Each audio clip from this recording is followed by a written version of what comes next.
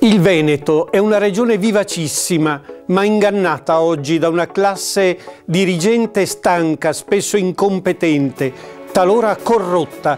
Dobbiamo cambiare stando al centro, al centro contosi, concretezza e serietà. Questo è il nostro impegno. Alle elezioni regionali del 31 maggio, nella scheda verde, vota Area Popolare e scrivi Boffo.